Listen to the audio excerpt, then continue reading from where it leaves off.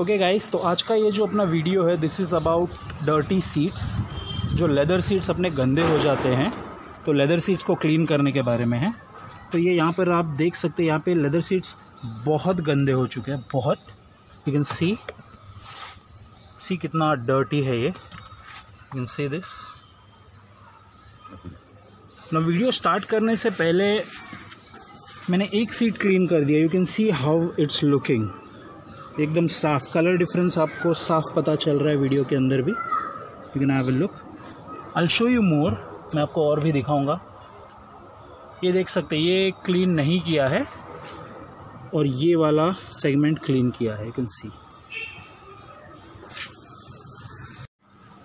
तो जो चीज़ें हम इस्तेमाल करने वाले हैं साफ़ करने के लिए सीट साफ़ करने के लिए इट इज़ नथिंग बट ये स्प्रे है, जिसके अंदर मैंने पानी और शैम्पू मिलाया हुआ है। कोई भी शैम्पू इस्तेमाल कर लीजिए आप।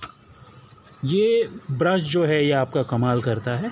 So this is really important and then एक गंदा सा कपड़ा जो ब्रश घुमाने के बाद आपको उससे साफ़ करना है। I show you how it works तो गाइज़ हमने स्प्रे कर दिया है शैम्पू। स्प्रे करने के बाद we are brushing it I show you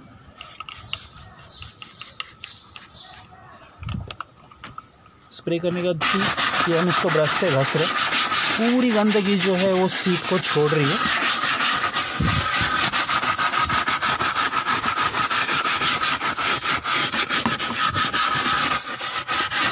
और द इंपॉर्टेंट पार्ट इसके ब्रश से घसने के बाद इसको ज़्यादा देर रुकिएगा नहीं, छोड़िएगा मत ये साफ़ पोच कर लीजिए। इसको, क्योंकि ये सूख जाएगा तो आपकी मेहनत वेस्ट है।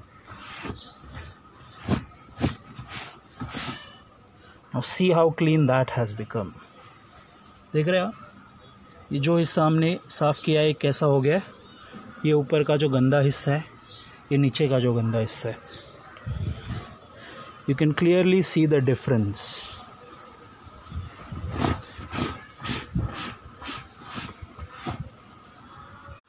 alright guys so we are done with cleaning and detailing the seats you can see बहुत फ़र्क आ गया इसमें huge huge difference